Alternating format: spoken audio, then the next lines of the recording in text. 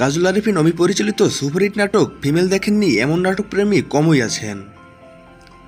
Female নাটকটির সফলতার কারণেই এবার আসছে এর দ্বিতীয় পার্ট, ফিমেল টু। সম্পূর্ণ কমেডি ধারার নাটকটির পার্ট টু আসছে, এটা একটি সুখবরই বটে।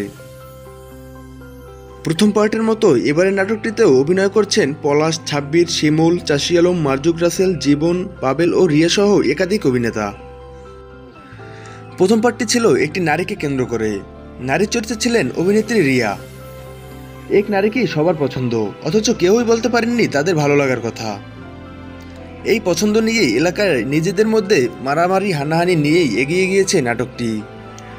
এবারের পার্টির ভবিষ্যৎ আগে থেকেই ধারণা করা খুবই কঠিন, কারণ কাজল আরফিন অভিমানই নতুন কিছু। এবারের ঈদুল ভিতরে নাটকটি মোশন রক এন্টারটেনমেন্টের ইউটিউব চ্যানেলে দেখা যাবে। আশা করি সবাই দেখে নেবেন।